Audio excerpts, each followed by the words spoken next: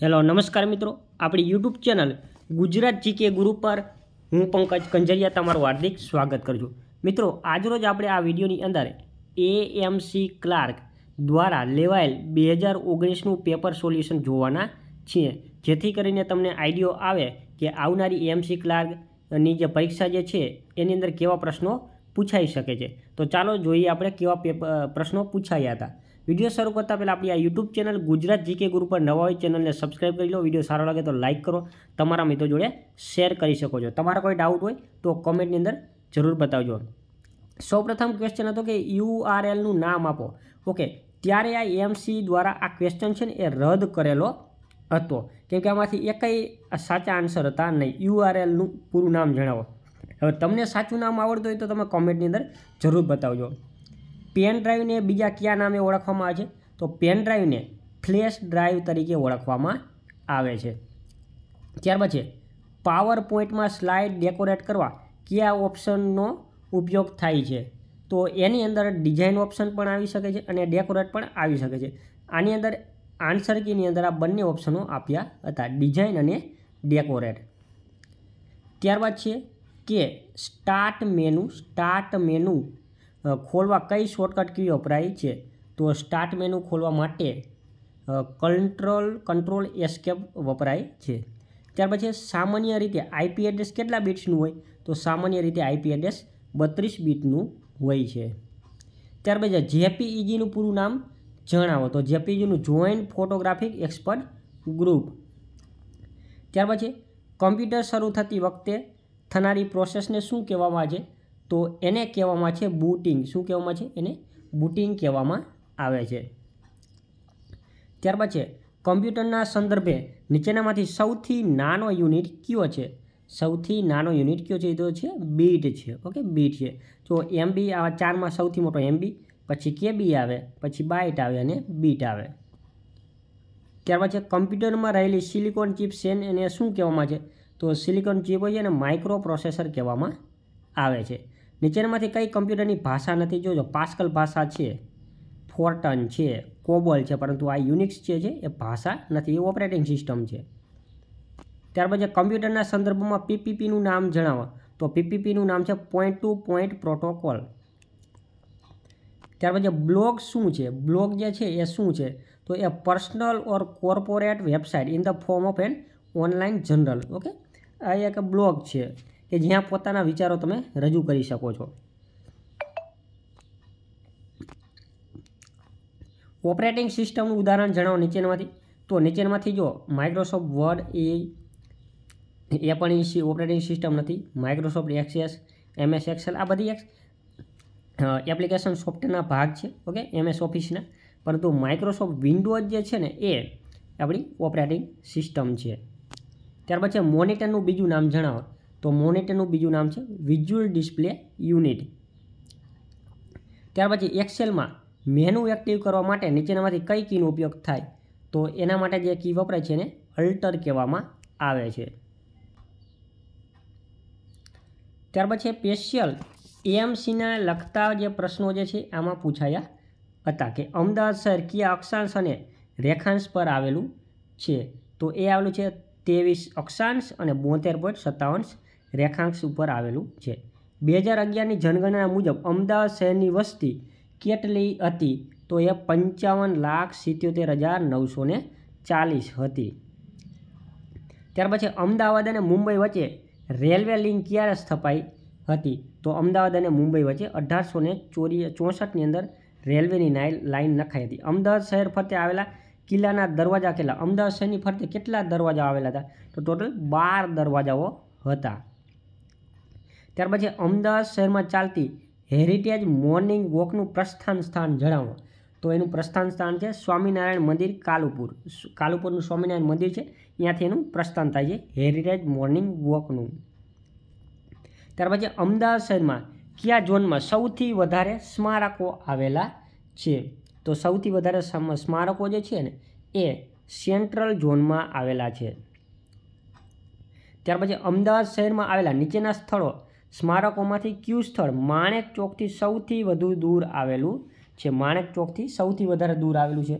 તો જો, એ છે રાણી રૂપમતીની મસ્જિદ. બાકી આ બધાય નજીક આવેલા છે. ત્યાર પછી, અમદાવાદ શહેરને વર્લ્ડ હેરિટેજ સિટી ક્યારે જાહેર કરવામાં આવ્યું? તો અમદાવાદ શહેરને વર્લ્ડ હેરિટેજ સિટી તરીકે જુલાઈ બે હજાર સત્તરમાં જાહેર કરવામાં આવ્યું. બે હજાર અગિયારની જનગણના પ્રમાણે અમદાવાદ શહેરમાં સરેરાશ સાક્ષરતા દર કેટલો? હતો. તો એ હતો. આમાંથી ઉપર ચાર ઓપ્શન હતા, એમાંથી એક પણ જવાબ આવતો હતો નહીં. હાલમાં અમદાવાદ મ્યુનિસિપલ કમિશનરનું નામ જણાવો. તો જો ત્યારનો સવાલ છે, ત્યારે વિજય નેહરા મ્યુનિસિપલ કમિશનર હતા. પરંતુ અત્યારે આ બે હજાર ઓગણીસની વાત કરવામાં આવે છે. પરંતુ અત્યારે બે હજાર ચોવીસ ચાલે છે. તો અત્યાર મુજબ તમારે યાદ રાખી લેવાના છે. કાલુપુરમાં આવેલ સ્વામિનારાયણ મંદિરની સ્થાપના કોણે કરી હતી? તો સ્વા કાલુપુરમાં આવેલા સ્વામિનારાયણ મંદિરની સ્થાપના જે છે એ સહજાનંદ સ્વામી સહજાનંદ સ્વામી અને ઘનશ્યામ મહારાજ આ બંને આવશે બંને એક જ વ્યક્તિ છે, પરંતુ ઓપ્શનમાં બંને આપી દીધું હતું. સહજાનંદ સ્વામી કહેતો એ અને ઘનશ્યામ મહારાજ કહેતો એ. બંને એક જ વ્યક્તિ છે, પણ ઓપ્શનમાં બંને આપી દીધા એટલે બંને જવાબ સાચા આવશે. બીઆરટીએસ બસ સેવાનું પૂરું નામ જણાવો. તો એ છે bus rapid transit system.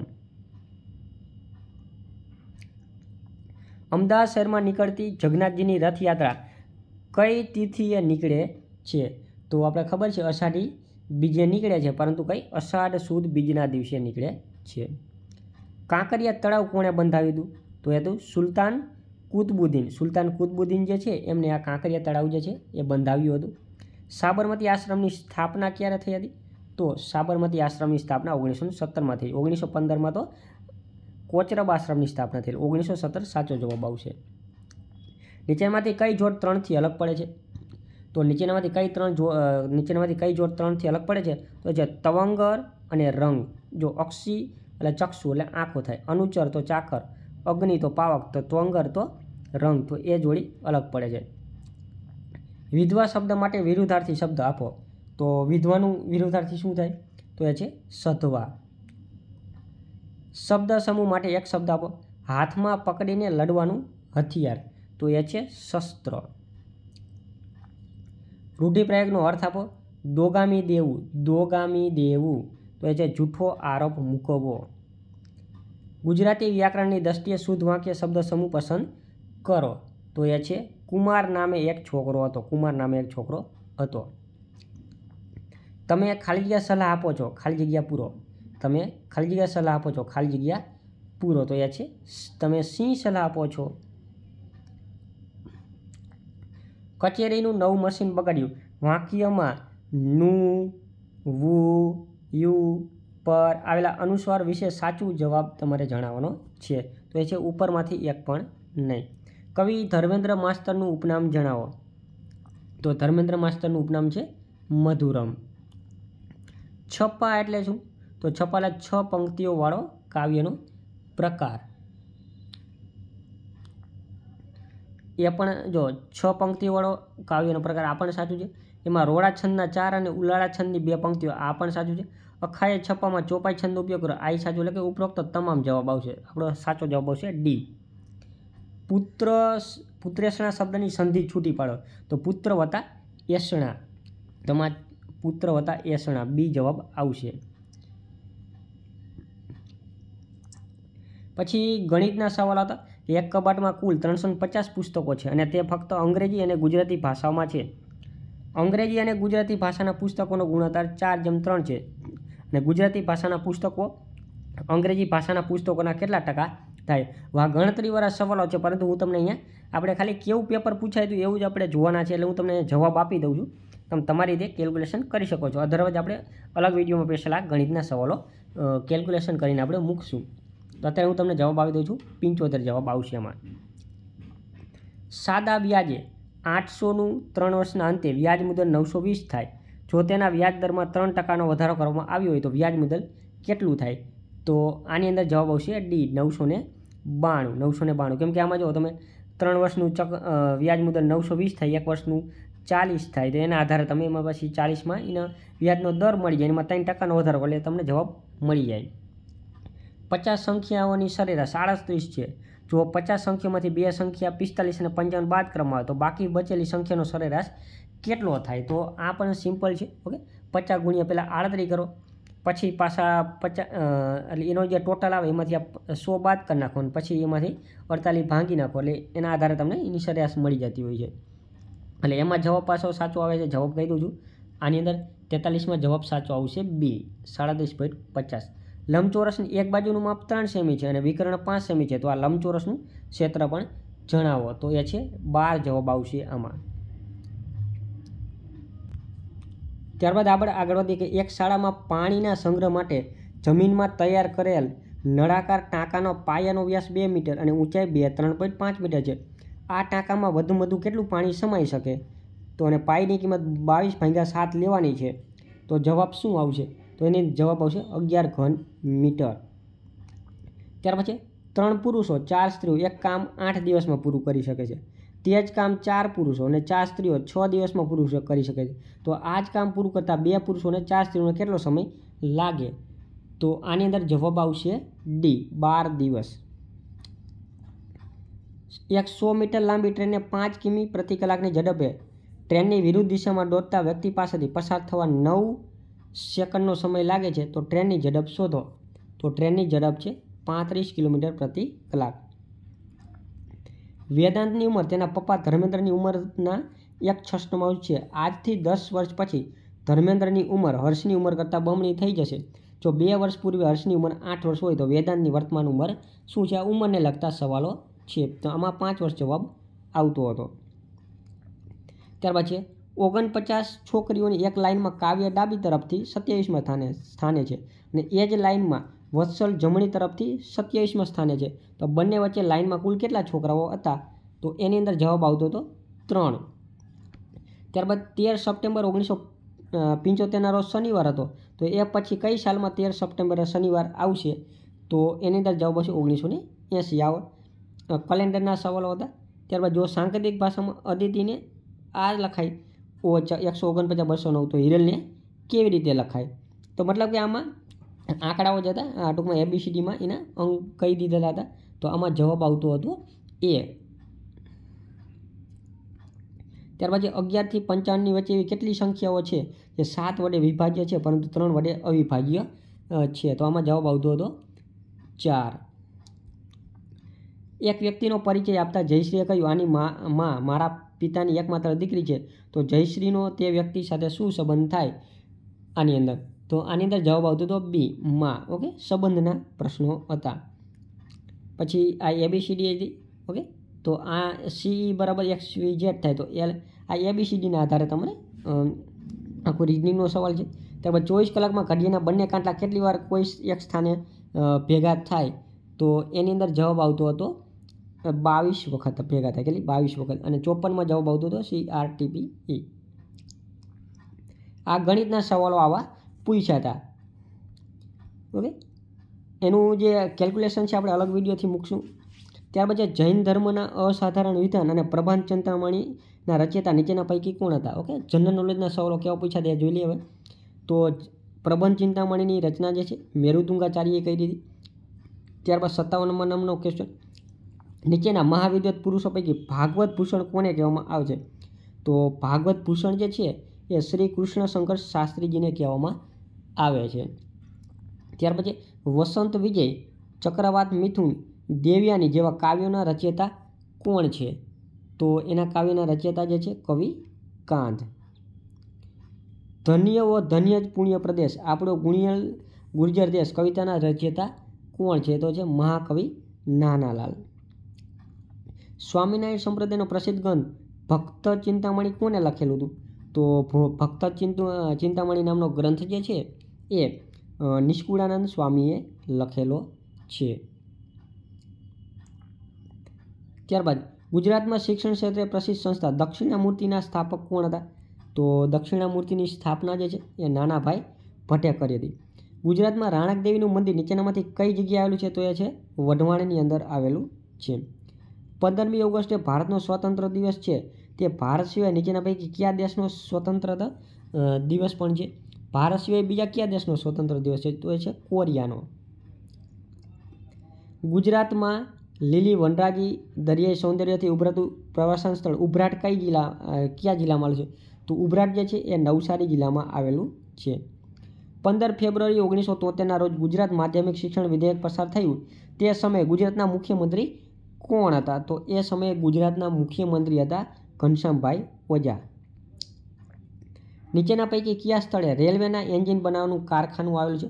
તો રેલવેના એન્જિન બનાવવાનું કારખાનું જે છે, એ આવેલું છે જમશેદપુરમાં પણ આવેલું છે અને ચિત્તરંજનમાં પણ આવેલું છે. તો બંને જવાબો સાચા હતા.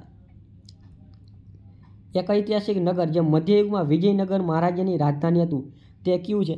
તો વિજયનગરની રાજધાની એક સમયે હમ્પી હતું. હાલમાં જાહેર કરાયેલ કેન્દ્રશાસિત પ્રદેશ લોકસભા લદ્દાખ લોકસભાના વર્તમાન સાંસદ કોણ છે? એ સમયની વાત છે. બે હજાર ઓગણીસમાં જ્યારે પ્રશ્ન પૂછાય ત્યારનું ઓકે? તો એ સમયે હતો એ સમયે જે જામયાંગ, નામયાંગ નામગ્યાલ જેવા વ્યક્તિ જે હતા, સાંસદ હતા અહીંયાના. આઝાદીની ચળવળ વખતે નીચેના પૈકી કયા મહાપુરુષે મહારાષ્ટ્રમાં ગણપતિ મહોત્સવની પૂજાને નવ સ્વરૂપ આપી ગણપતિ ઉત્સવ ઉજવવાની શરૂઆત કરી? હતી. તો ગણપતિ ઉત્સવ ઉજવવાની શરૂઆત બાલ ગંગાધર તિલકે કરાવી હતી. પછી શરીરમાં શરીરમાં શ્વેત રક્તકણોનું મુખ્ય કાર્ય નીચેના પૈકી કયું છે? તો શ્વેત રક્તકણોનું કાર્ય મુખ્યત્વે શરીરના રોગોથી રક્ષણ આપવાનું છે. પોટેશિયમ નાઇટ્રેટનો ઉપયોગ નીચેના પૈકી શેમાં થાય છે? તો પોટેશિયમ નાઇટ્રેટ હોય, એનો ઉપયોગ જે છે એ ઓકે આમાં અહીંયા આ પ્રશ્ન જે છે ને એ એમસી દ્વારા કેન્સલ કરવામાં આવ્યો હતો. ડિફેન્સ રિસર્ચ એન્ડ ડેવલપમેન્ટ ઓર્ગેનાઇઝેશનનું વડુ મથક ક્યાં છે?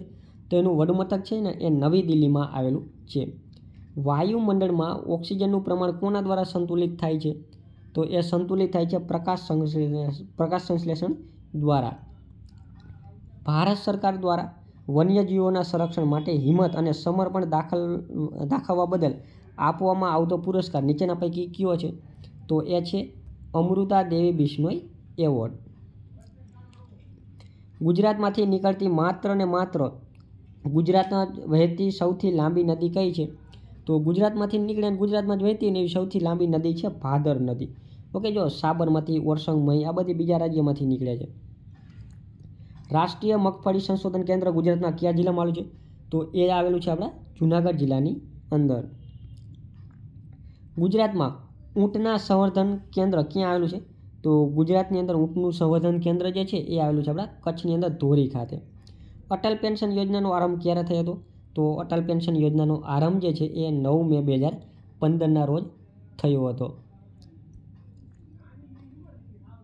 નીચેના પૈકી ભારત સરકારની કઈ વીમા યોજનાનું વાર્ષિક પ્રીમિયમ રૂપિયા ત્રણસો ત્રીસ ભરવાથી વીમા ધારકના મૃત્યુ સામે તેના વારસદારને બે લાખ રૂપિયા મળવા પાત્ર છે. તો એ છે પ્રધાનમંત્રી જીવન વીમા યોજના. નીચેના પૈકી કઈ યોજના અંતર્ગત ગરીબી રેખા હેઠળ જીવતા લોકોને તથા મધ્યમ વર્ગીય પરિવારોને ખાનગી તેમજ સરકારી સંલગ્ન હોસ્પિટલોમાંથી સારી ગુણવત્તાયુક્ત સારવાર તદ્દન મફત મળે છે. તો એ છે મુખ્રમ મુખ્યમંત્રી અમૃતમ મહાયોજના તારા આ યોજનાનું નામ આ હતું. પરંતુ અત્યારે આ યોજના જે છે એને પ્રધાનમંત્રી આયુષ્ય યોજના આયુષ્ય યોજના કરી નાખવામાં આવી છે. અત્યારે એના માટે આયુષ્યમાન કાર્ડ આપવામાં આવે છે. બંધારણની કઈ કલમ હિન્દી ભાષાને દરજ્જો આપે છે? તો હિન્દી ભાષાને દરજ્જો આપે છે કલમ ત્રણસો ને તેતાલીસ. કટોકટીનું જાહેરનામું કેટલા માસનો સમય પૂરો થવાના અંતે આપમેળે રદ થાય છે? તો એ છે, છ માસમાં પૂરું થઈ જાય. મૂળભૂત અધિકારોના વિચારણાની પ્રેરણા કયા દેશના બંધારણમાંથી લેવામાં આવી? તો મૂળભૂત અધિકારો જે છે, આપણે યુએસ, અમેરિકાના બંધારણમાંથી લીધેલા છે. નીચેના પૈકી જાહેર વહીવટના પ્રકારમાં આવતું નથી. તો આ ક્વેશ્ચન જે છે એ એમસી દ્વારા કેન્સલ કરવામાં આવ્યો ત્યારે. ત્યારબાદ ભારતના મુખ્ય ન્યાયાધીશ તરીકે સૌથી વધુ સમય સુધી હોદ્દો ધારણ કરનાર મહાનુભાવનું નીચેના પૈકી કોણ હતા? તો એ મહાનુભાવ હતા જસ્ટિસ વાયવી ચંદ્રદૂત સૌથી વધારે સમય રહ્યા હતા. નીચેનામાંથી ત્યારબાદ છે અંગ્રેજી પૂછ્યું હતું પંદરક માર્કનું. નીચે આપેલ અંગ્રેજી શબ્દોમાં કયા શબ્દોનો સ્પેલિંગ ખોટો છે? તો જો, કોવર્ડ, થાઉઝન્ડ, વેન્ડર, આ બધા સાચા હતા, પરંતુ આ કન્વર્જેશનવાળું જે છે આ ખોટો હતો. Select the most appropriate word traitor તો એનો મતલબ થાય છે અહીંયા ડી જવાબ આની અંદર આવશે. Select the third form past participle સ્વીપનું past participle શું થાય? તો એનું પાસ્ટ પાર્ટિસિપલ થાય swept choose the most appropriate opposite word in meaning of the overt as your answer તો એમાં જવાબ આવશે હિડન ઓવર્ટનું હિડન થશે. નેવમાં બે ખાલી જગ્યા પૂરવાની તો વોટ ખાલી જગ્યા ઇટ ખાલી જગ્યા વન્ડરફુલ તો એમાં ડી જવાબ આવશે આર યુ કુકિંગ સ્મેલ્સ પછી એકાણુંમાં correct alternative for underline word તો he found a wooden broken chair તો એની અંદર જવાબ આવશે B broken wooden chair choose the one which can be submitted for the A group of the three powerful people તો એની અંદર જવાબ આવશે ડી ત્યારબાદ find out which part of sentence has an error તો તાણુંની અંદર જવાબ આવશે B don't want change in indirect sentence he said we have done our work. તો એની અંદર આવશે જવાબ. ચોરાણુંમાં જવાબ આવશે C. He said that they had done their work. પછી અહીંયા હતું, arrange the sent jumbled word હતા, એને ગોઠવવાના હતા પંચાણુંમાં. તો એની અંદર જવાબ આવતો હતો B. Gandhiji more than use to twenty latest write a day. તો એની અંદર કેવી રીતે હતું કે સૌપ્રથમ તો ગાંધીજી પહેલાં આવે, ઓકે એક નંબરે. પછી Gandhiji use to to write more than twenty letters a day. આ આમ જવાબ આવતો હતો. Change in to passive voice. તો who has seen him? Passive વોઇસમાં ફેરવા અહીંયા પેસિવ વોઇસમાં ફેરવવાનું હતું. તો અહીંયા આવશે બાય વુમ થઈ જશે પહેલાં તો, ઓકે? તો by whom has he been seen. સિલે પછી ત્યારબાદ સત્તાણુંમો ક્વેશ્ચન આમાં એ જવાબ આવશે. Select sentence of present perfect continuous tense તો પ્રેઝન્ટ પરફેક્ટ કન્ટિન્યુઅસ ટેન આમાં શોધવાનો છે. તો આની અંદર જવાબ આવતો હતો D I have been teaching you for an hour use proper question tag I am happy I am happy તો આ એમનું આરંટ થાય છે, આરંટ અઠ્ઠાણુંમાં એ. ત્યાર પછી fill in the blank he sat ખાલી ધ શેડ ઓફ ટ્રી તો આની અંદર ઇન જવાબ આવશે. Choose the grammatically incorrect sentence તો ઈ કમ્સ હર શેલ્ડમાં જવાબ આવશે. તો આવા પ્રશ્નો જે છે એ એએમસી દ્વારા પૂછાયા હતા. તો આના આધારે તમે આઈડિયા આવી જશે કે બે હજાર ચોવીસમાં કેવા પ્રશ્નો પૂછાઈ શકે છે. તો હવે બે હજાર ચોવીસની આવનારી પરીક્ષામાં એમસી ક્લાર્કમાં કેવા પ્રશ્નો પૂછાઈ શકે છે, એના વીડિયો આપણે આ જ ચેનલને આપણે મૂકવાના છે. તો જે લોકોએ હજી સુધી ચેનલને સબસ્ક્રાઈબ કરી નથી, તો સબસ્ક્રાઈબ કરી લેજો. અને તમારા કોઈ મંતવ્ય હોય, તમારા કોઈ ડાઉટ હોય તો કોમેન્ટની અંદર જરૂર બતાવજો. થેન્ક યુ જય હિન્દ.